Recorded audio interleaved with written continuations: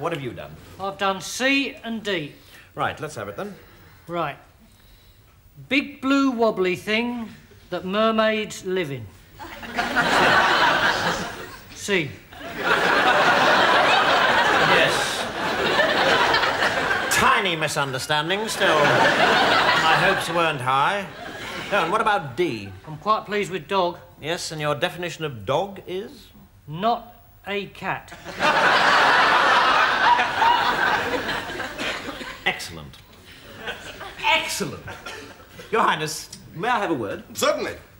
As you know, sir, it has always been my intention to stay with you until you had a strapping son, and I one likewise, to take over the burdens of my duties. That's right, Blackadder, and I thank you for it. But I'm afraid, sir, that there's been a change of plan.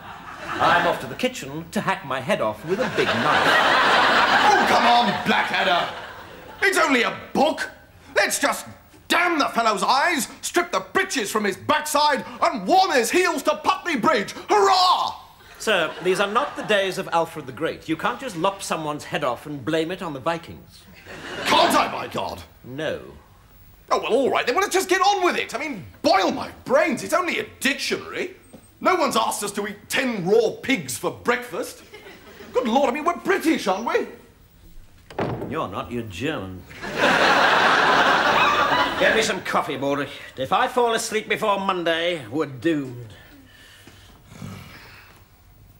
Mr. Blackadder, time to wake up. What time is it? Monday morning.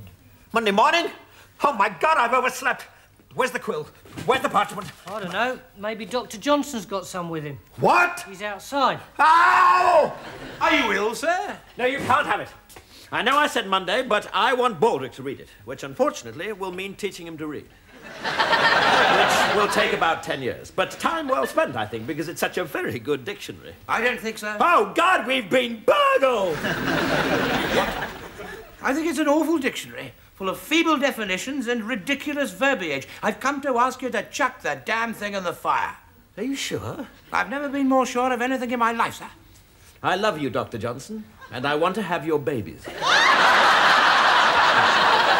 Oh, Sorry, excuse me, Dr. Johnson, but my Auntie Marjorie's just ar- arrived.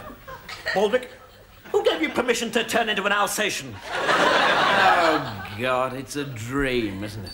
It's a bloody dream.